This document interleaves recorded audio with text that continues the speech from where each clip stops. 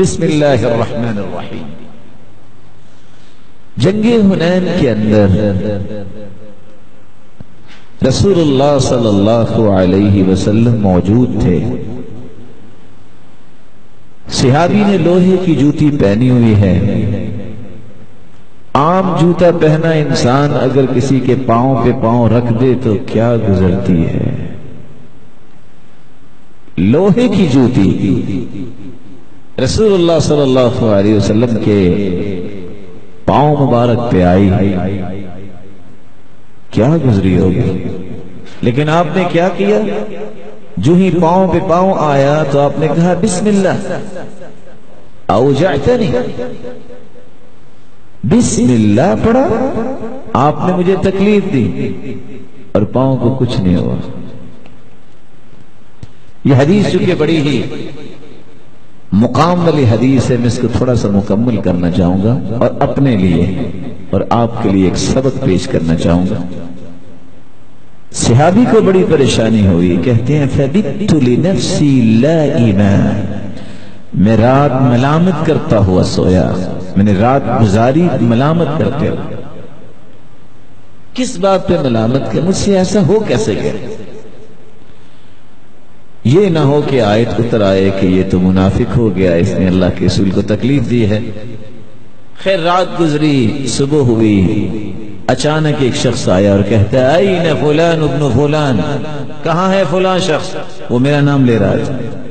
میں نے پوچھا، خیر ہے؟ قال، فإن رسول اللہ صلی اللہ علیہ وسلم يطلبك اللہ کے رسول آپ کو بلا رہے ہیں۔ فانطلقت وانا متخوف، میں جا رہا تھا اور خوف بھی کھا رہا تھا کہ کہیں وہ کل والی بات نہ ہو گئی۔ لیکن میں سمجھا بھی رہا تھا کہ ہو سکتا کوئی اور بات۔ جو ہی میں وہاں پہنچا تو آپ نے پہلا سوال یہ کیا انکا قد وطعت بنعلک علی رجلی بتاؤ تم نے اپنا پاؤں، میرے پاؤں پہ رکھا تھا کہ نہیں؟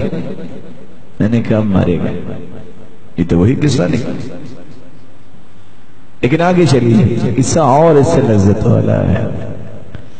جب آپ کے پاؤں پہ اس صحابی کا پاؤں آیا تو آپ کے ہاتھ میں کوڑا تھا۔ آپ نے ہاتھ سے پیچھے نہیں کیا، اسی طرح کوڑا پکڑا تھا، آپ نے اس کو پیچھے کر دیا۔ یہاں ایک سوال میں پوچھنا چاہوں گا، تکلیف کس کا ہوئی؟ نہیں بولے۔ کس کو تکلیف ہوئی؟ معذرت کسے کرنی چاہیے؟ تھی صحابی رسول صلی اللہ علیہ وسلم کو۔ آپ نے پہلے منوایا، آپ نے ایسا کیا؟ قلت نعم، ایسا ہوا۔ فنفحتك بالسوط۔ میں نے ہاتھ سے نہیں کوڑے سے آپ کو پیچھے کیا۔ فهذه ثمانون نعجة فخذها بها. یہ اسی جانور مجھ سے لے لو اور مجھے معاف کر دو کہ میں نے تمہیں کوڑے سے پیچھے کیا، ہاتھ سے پیچھے نہیں کیا۔